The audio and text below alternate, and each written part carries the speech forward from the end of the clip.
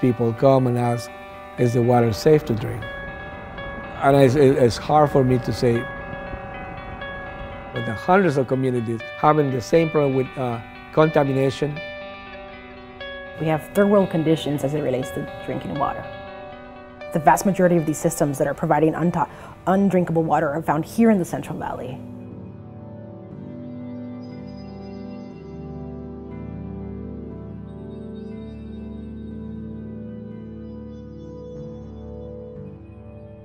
It's not a coincidence that they're found in low-income people of color communities.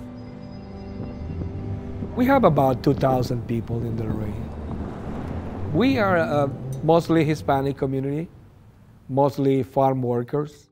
We've been having this drought for so long, and we've been blessed to have our wells maintain a certain level of water. Well, according to the experts, if you are exposed to drinking this water for a long period of time, you have the probabilities of getting cancer. What about if we boil it? I said, nope, it's not gonna do anything. Even showering is bad. We're overlooked by everybody, the county, the state. They don't account for a small community like ours. We are not being taken in consideration when it comes to policy making. We don't have anybody to be lobbying for us. We can barely manage to survive. So some of the conditions and characteristics that many public water systems here in California and rural communities are faced with a couple of them. One is um, they have old and dilapidated infrastructure that's delivering, in many cases, unpotable drinking water. From, from an array of contaminations, it can vary from arsenic 123 TCP, which is an unregulated contaminant, to things like nitrates. Many times these systems are, are unable to bring in treatment that can be affordable for residents to have safe, clean, and affordable drinking water because they have to increase water rates. It becomes very expensive to divide the cost across a rural community of small, um, small connections.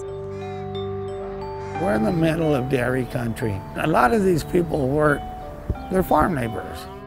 Some of our contaminants that are out there are because of farming practices. And it doesn't mean that they're practicing that now because there's been a lot of chemicals that have been taken out. But it's just, you know, it takes time for that water to perk down to the ground. 123 TCP was found in our waters in about 2012. It was used as a fumigant, and it was a byproduct of another uh, chemical. The companies were telling these farmers that it was good to use. And what happened is that this was going into our underground water in the 60s, 70s, and probably until the 80s, and it remains there. We are part of that group of uh, cities that are so in uh, Shell and Dow because of this situation. The Central Valley is a thriving valley. We produce an array of crops and nuts and vegetables. Farm worker communities are also part of the fabric of the industry. That said, nitrates, arsenic plague our drinking water. Agricultural practices contribute to nitrate pollution. We need to create sustainable solutions to ensure that we have winnable solutions both for the industry, but not at the expense of communities, and especially not at the expense of their health. We need to limit and prevent further con contamination of our drinking water sources. We need to upgrade dilapidated infrastructure so that we have good water running through updated pipes to people's homes.